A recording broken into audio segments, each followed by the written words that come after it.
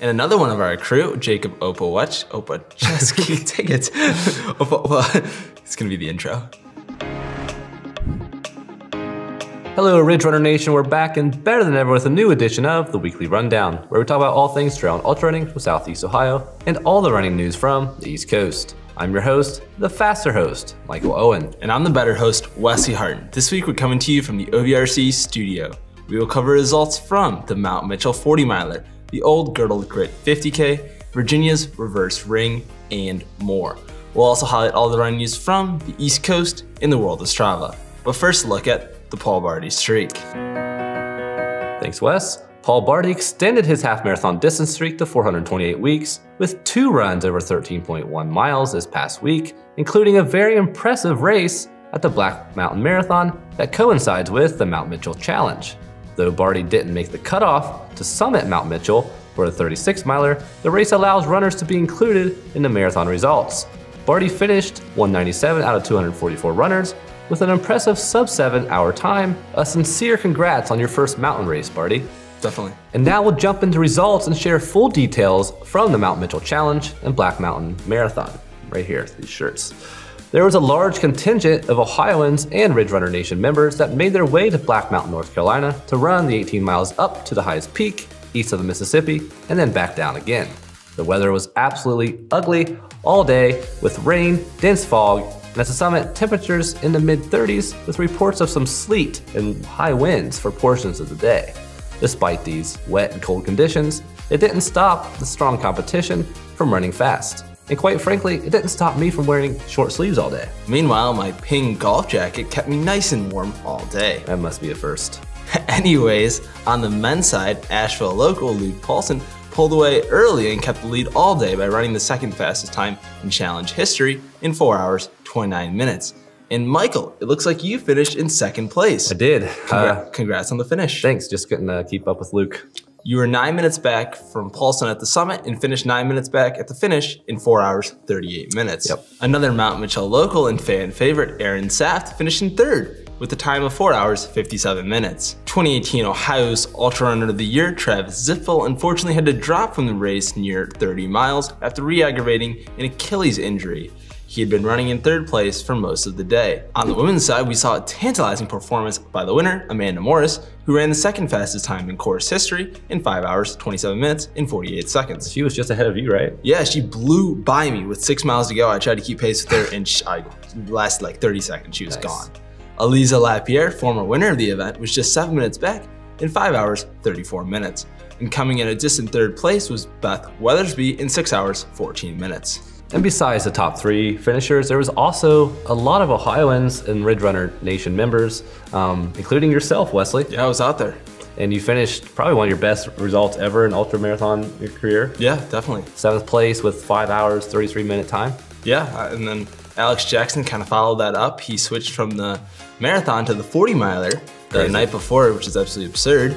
Uh, he finished in 6 hours, 35 minutes, 45 seconds for 37th overall. Yep, and one of our Athens locals, Doug Elselburn, also traveled down with us, finished uh, 48th place, six hours, 45 minutes. Nick Voss, who's a a veteran at this event. Yes, Had a little off year, but he still finished seven hours. And then Grant Guthrie, also from Ohio. So it was a great weekend for us traveling together um, and for the entire Ohio crew. In the Black Mountain Marathon, where runners go partway up the mountain, and Ohio won outright, and that was Keith Harris of Cincinnati, running 3 hours, 23 minutes, and 23 seconds. On the women's side, Cynthia Arnold from Montana won the marathon in 3 hours, 49 minutes, and 4 seconds. Another one of our crew, Jacob Opacheski from Columbus, ran his first marathon at this race. That's Crazy. absolutely crazy. He picked a good one though. He may have been a little underprepared, but he finished just over 7 hours. It was awesome having you there, Jake. Yes, for sure. In Virginia's Reverse Ring, another East Coast classic put on by the Virginia Happy Trail Running Club, hmm. took place over the weekend for its 14th year. The Reverse Ring is labeled as a fat ass run by VHTRC and is an invitation only run with runners needing to be a member of the Fellowship of the Ring. Hmm. To be a member of the Fellowship, one must have completed a previous running of The Ring, which is another event they put on in the fall. Hmm, interesting. Yeah, I mean, I think they have to watch Lord of the Rings too, right? As part of the. Probably. I mean, that, that must be a requirement in They the. probably run faster than the whole series of Lord of the Rings, though. Oh, definitely. But anyway, there's no registration costs, no awards, it's just a low-key race. These races are run in the rugged and challenging Massanutten Mountains. This year, only 9 of the 21 selected starters finished the reverse ring, with Dan Fogg running 14 hours and 31 minutes, a very fast time for this course. He was a full 5 hours ahead of second place and first place female Kathleen Cusick, running 19 hours and 36 minutes. Conditions were said to be challenging with heavy fog, tree blowdowns, and slick footing in the rain. And in the race report on the Reverse Ring website, it was said that Kathleen spent some time off trail during the night, leading to more miles and more time. Hmm. Well done. I definitely would love to check out this one, so maybe I need to look into getting into the ring that they host in the fall. I do know it's a lottery entry, with the selection being based on the closing number of the Dow Jones the prior day. Sign me up for that. That's awesome. The Olde Girdled Grit 50K took place this past weekend in Lake County, Ohio, near my hometown. Joe McDaniel won the men's race in 4 hours 6 minutes 18 seconds. Second place was also top female Alexander Del Zoppo, who finished in 4 hours 20 minutes. John Nakel and Kevin Skilchich rounded out the men's podium with 4:34 and 4:36. Tight race. Cool. A familiar name, Amanda DeBevek, finished second female with a time of 4 hours 36 minutes. There were a lot of Ridge Runner Nation members at this race. Matt Freeman ran the 50K in 5 hours 53 minutes, and so did Tom Botker, who finished in 5 hours 58 minutes. Adam Bishong ran the half marathon in 2 hours 18 minutes. Congrats to all Ridge Runner Nation members. Congrats, guys. And now for the rant of the week. Today's rant is about poop. The kind that dogs make. Yeah. But this isn't about the dog's poop, it's about what the owners who own those dogs do with the poop when they are walking in public spaces. Last week along the Athens Hockhocking Adena bike path, I saw no less than 13 poop bags neatly tied and placed along the path. I also saw a few along the trails at Sells Park. This absolutely boggles my mind that people do this. Okay, so you have a dog, cool for you. And you go through the hassle to place the poop into little baggies. Well, good job, thanks for that as well. Oh, but wait, you forgot something. You decide to leave the bag of poop sitting there for the rest of the world to enjoy. Yeah, thanks for that. That's exactly what I wanna see when I'm out there running or walking with my kids. That's exactly what city workers or kind stewards want to be picking up to place in trash cans. I've got Instagram stories to take. I mean, I can't see those in the background. If you aren't gonna place the bag of poop in trash can, trust me, you're better off just letting the dog poop in the grass. It'll compost much faster in the air than it will in a steamy plastic airtight bag. Or how about the people that try to hide the bag under a rock or a bench? It's real nice too. Dogs don't lay eggs, they poop, okay? They need off of public spaces. Be civilized. Thanks for bagging the poop, but don't stop there. Please place it in a trash can. I think Athens should hire some detectives and place these poop bags in the owner's mailbox.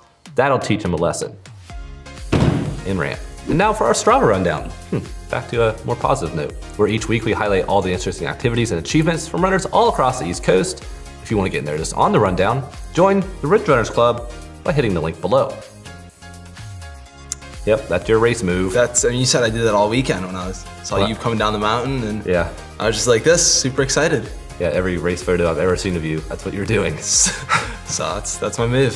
The WH. Tyler Frazier ran what he called the Splash and Dash 2 5K on Sunday. Seems like a summer thing. Y- yes, we'll get there. While we are not able to confirm whether this was a race or not, Tyler was absolutely moving. He averaged 626 miles. After further research, there were a lot of Splash and Dash 5Ks, but most seem to take place in the summertime. Hmm. Great work, nevertheless, Tyler. Stephen Cameron called his run and six this week, That's a lot better than and one. like the shorts you wear in races. Yeah, or the basketball moves I always get score. Yeah.